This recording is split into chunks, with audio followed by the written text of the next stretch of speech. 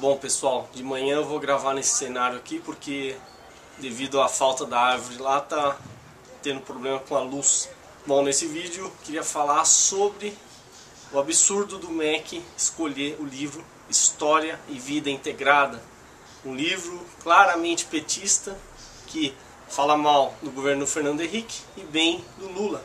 Por exemplo, criticando as privatizações do Fernando Henrique, já criando lavagem cerebral nas nossas crianças, né, nos adolescentes. E o MEC simplesmente acha normal isso, julgou a obra imparcial.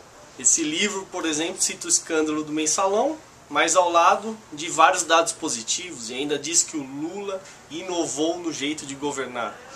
Ou seja, todo o aparato educacional a favor de um partido, de um governo petista.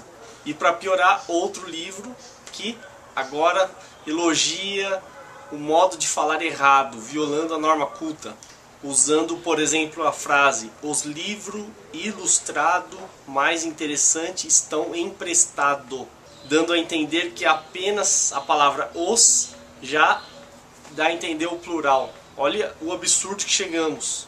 Além de fazer propaganda política, agora querem ensinar as crianças a falar errado. E tudo isso sob o aval de Fernando Haddad, aquele ministro que foi um desastre no exame do Enem, que praticamente acabou com o Enem, que acabou com o SISU. Enfim, paulatinamente está acabando e destruindo a educação no Brasil.